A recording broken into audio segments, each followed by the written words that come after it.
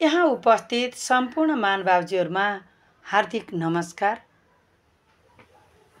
सदा झैँ आज पनि मैले ज्येष्ठ नागरिक सम्बन्धी केही नयाँ जानकारी लिएर तपाईँहरूमाझ उपस्थित भएको छु र आजको प्रस्तुतिको शीर्षक रहेको छ ज्येष्ठ नागरिकहरूको साझा स्वास्थ्य समस्या।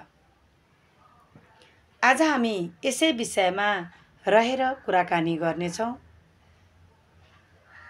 सायद हामी सबैलाई थाहा नै होला ज्येष्ठ नागरिकहरूले अक्सर गरेर उमेर बढ्दै जाँदा विभिन्न स्वास्थ्य चुनौतीहरू सामना गर्नु परिरहेको छ।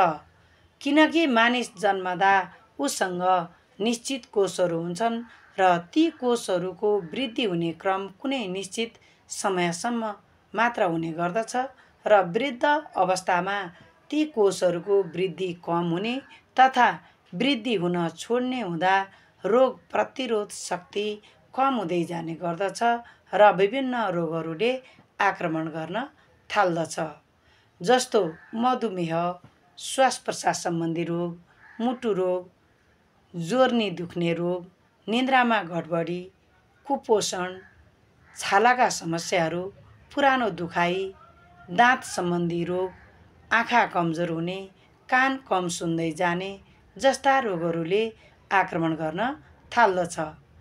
साथै यस्ता कारणले गर्दा चिन्ता तथा त्रास बढेर जान्छ र मानसिक स्वास्थ्यमा समेत असर पुर्याउन थाल्दछ। त्यसैले यस्ता समस्याबाट हामी कसरी मुक्त हुन सकिन्छ तथा कम गर्न सकिन्छ भन्ने बारे सचेत रहनु पर्दछ।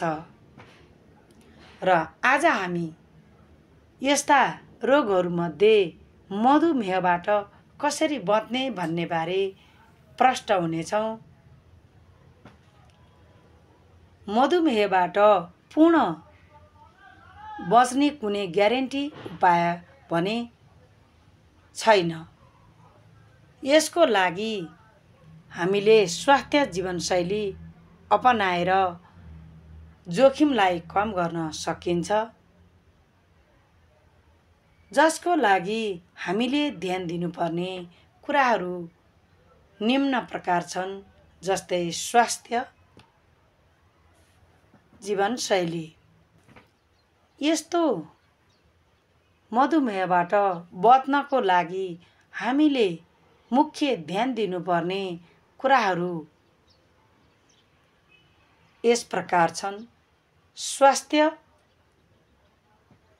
आहार कायम गर्ने फलफुल सागसब्जी सम्पूर्ण अन्न बाली प्रोटिन र स्वास्थ्य बोसोसहित विभिन्न प्रकारका पोषक तत्त्वयुक्त खानाहरू खाने र प्रशोधित खानाहरू चिनीयुक्त पेय पदार्थ र उच्च बोसो उच्च चिनीका खानाहरूको सेवनमा सीमित गर्ने।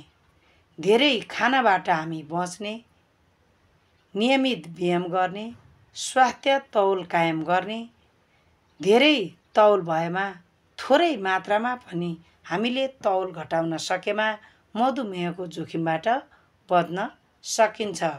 साथै रगतमा चिनीको मात्रालाई निगरानी गर्ने यदि आफूलाई मधुमेह छ भने रगतमा चिनीको मात्रा नियमित रूपमा निगरानी गर्ने प्रशस्त पानी पिउने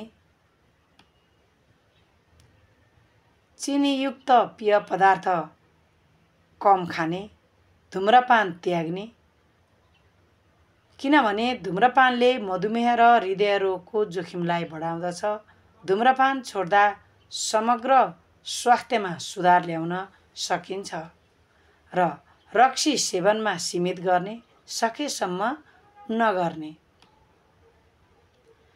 तनावलाई व्यवस्थापन गर्ने दीर्घकालीन तनावले अस्वास्थ्यकर जीवनशैली छनौटमा लैजान सक्छ र तनाव व्यवस्थापन गर्न प्रभावकारी तरिकाहरू खोज्ने जस्तै व्यायाम गर्ने ध्यान गर्ने विभिन्न काममा आफू व्यस्त रहने आदि।